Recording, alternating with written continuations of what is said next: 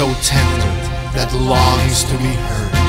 So scarlet and slender, it blossoms in dirt, seductive and feral, so perfect in thorns.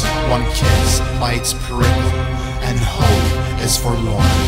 That roses conquer the yarns did not teach, but rousing and violent are kisses that breach. Provoked by enlightenment, the siege has begun.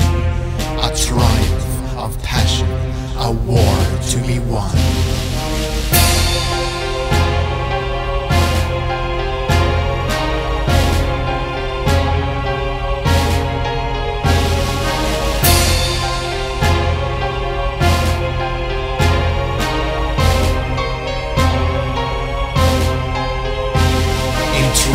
By its beauty, compelled by its smell, the scent of its petals like whispers from hell.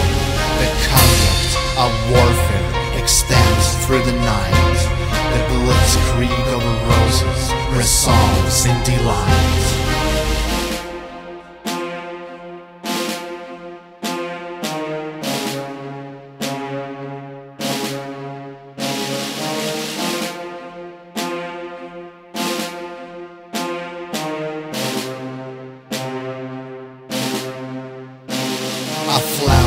So tender that conquers by force, seduction through conquest by roses at war. So tender yet forceful, the flower proceeds to harvest its victims in search to be pleased.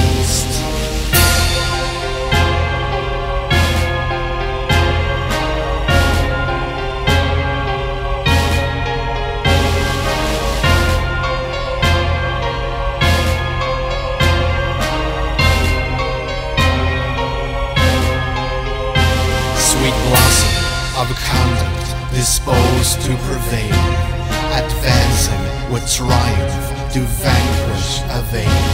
The warfare of roses sustained by the truth, both pleasure and violence are there to be used. It knows not its beauty, it tries not to dream. So perfect in silence, it yearns to be seen. It wants to be picked compelled to believe that love and submission are hers to receive.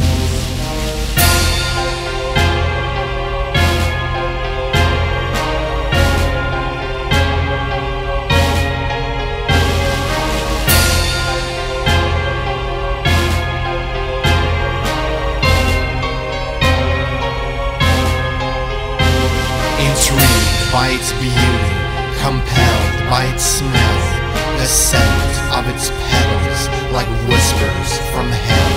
The conduct of warfare extends through the night.